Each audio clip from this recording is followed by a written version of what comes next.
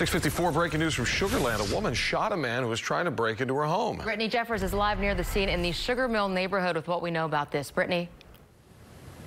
A very scary incident for this homeowner. And just beyond this crime scene tape here, you can see uh, investigators here with the Sugar Land Police Department. They tell us around 4.30 this morning that woman was at home with her eight-year-old child when she heard a noise at the back door. The homeowner then shot a man, they say, who was attempting to break inside of her home.